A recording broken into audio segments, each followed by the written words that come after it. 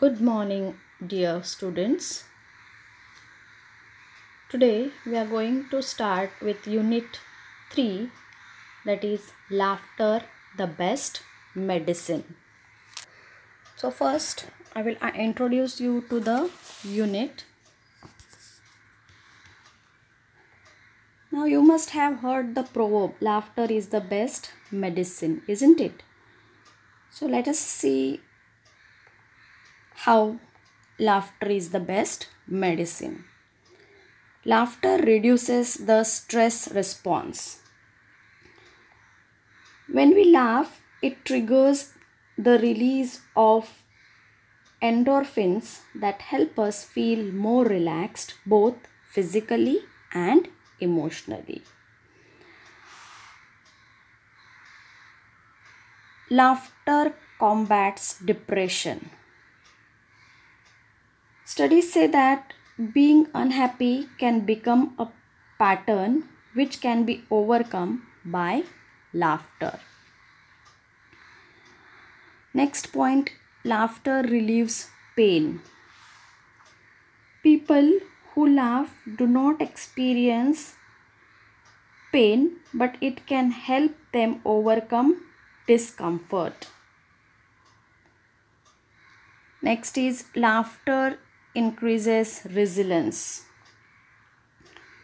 Laughter creates a positive, happy, and successful mood. Laughing at our mistakes allow us to recognize that making errors is a part of being human. Laughter boosts immunity. A study says that laughter may increase natural killer cell levels, that level of type of white blood cell that attacks cancer cells. Next is laughter is contagious. Our brain responds to the sound of laughter and the muscles in our face smile too. So let us see what can we do to stay happy.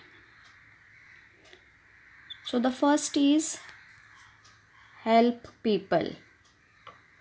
Helping people is a great way of feeling happy from within. Next is doing things that we love. So if we do the things we love, we can stay happy enjoying what we do. So try to enjoy whatever you do so the, so that you can stay happy. Next is going for vacation once in a while. It is also very good way to be happy.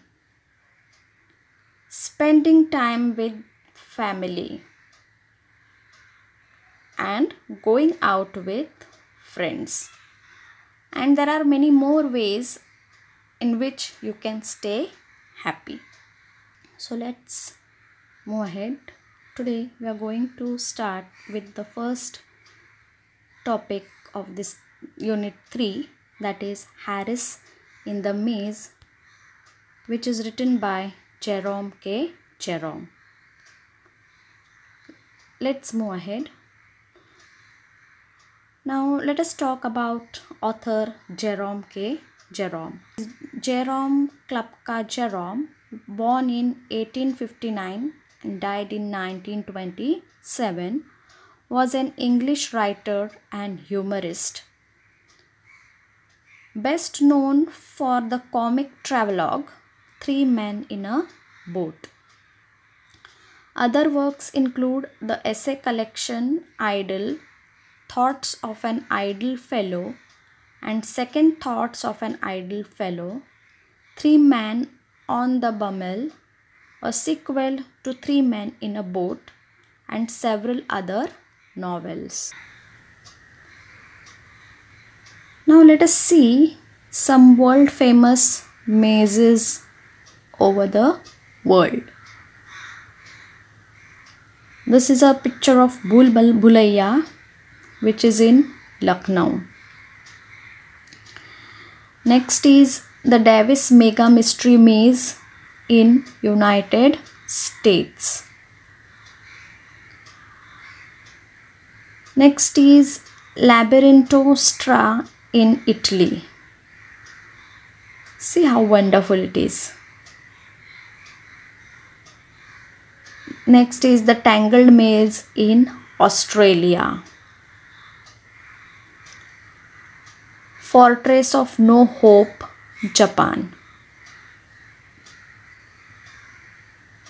Green Man Maze of Wales.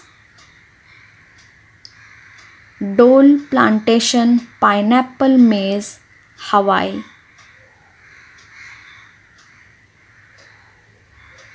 So these are some world's famous mazes and today we are going to talk about one such maze in the lesson Harris in the maze. So let me give the introduction of this lesson. This extract is from Three Men in a Boat, which is a humorous book by English writer Jerome K. Jerome. It is a story of two week holiday on Thames. In this extract, the narrator and his two friends, George and Harris, are going around London. They pass the Hampton Court Palace. The palace has a garden maze which is a tourist attraction. As they pass it, Harris remembers the last time he has visited the maze.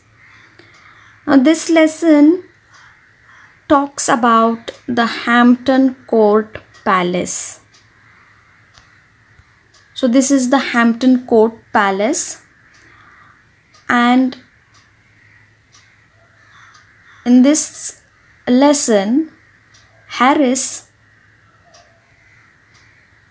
who is a friend of Jerome K. Jerome, he tells about his experience when he visited Hampton Court Maze.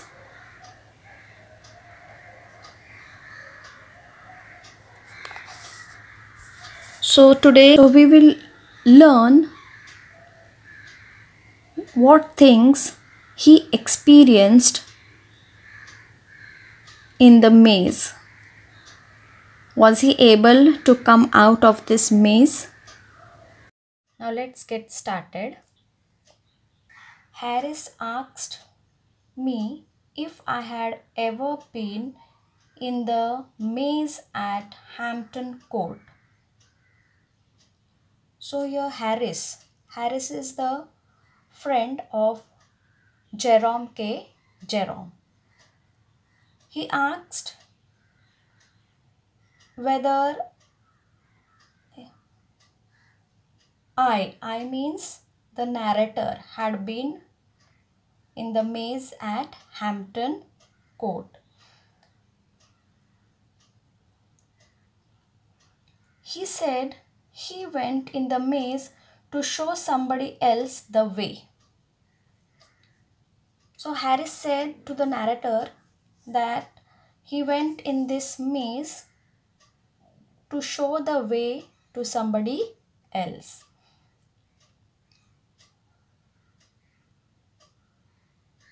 He had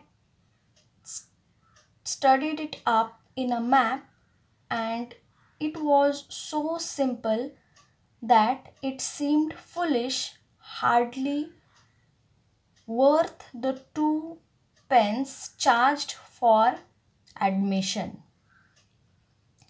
Now, according to Harris, this maze was very simple. he had studied in a map. He had seen the map of this maze, and according to the map, it was very easy to come out of this maze. So he says that it seemed foolish, hardly worth two pence charged for admission. It means it was foolish to charge two pence. Pence is a currency. So to enter this maze, uh, to charge two pence was very foolish. Now see whenever we go to some places we have to pay the ticket isn't so to enter this maze they had to pay two pence which was very foolish because according to Harris this maze was very easy and it did not worth paying two pence. Harris said he thought that the map must have been got up as a practical joke because it wasn't a bit like the real thing and only misleading. So Harris said that the map must have been a joke. Why the map must have been a joke? Because it wasn't a bit like the real thing and only misleading. So whatever was given in the map according to Harris, it was not like the real maze, it was misleading. And so, according to him, the map was like a practical joke. It was a country cousin that Harris took in. He said, We will just go in here so that you can say you have been, but it's very simple. So now why did he go in the maze? He went with his country cousin. Country cousin means a cousin who lives in a village. So he took his cousin to this Hampton Court maze. So as he had seen the map of this maze, he thought that it was very simple to enter and exit through this maze. It's absurd to call it a maze. You keep on taking the first turning to the right. We will just walk round for 10 minutes and then go and get some lunch. So he said that it was very absurd to call it a maze because it was very simple according to the map which he had studied. Okay. So according to the map what he has to do he has to just take the right turn and keep on walking and within 10 minutes they would get some lunch. Means they would come out of this maze within 10 minutes according to the map let us see the second paragraph they met some people soon after they had got inside who said they had been there in three quarters of an hour and had had about enough of it.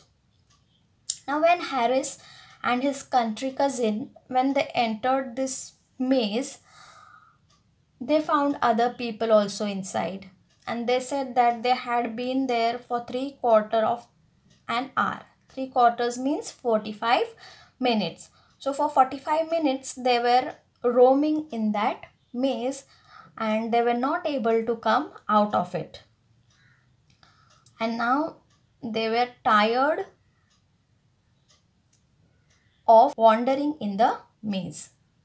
Harris told them they could follow him if they liked.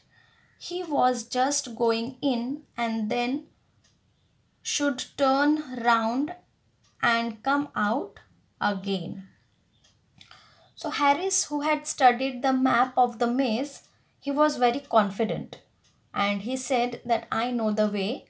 So if you want, you can follow me.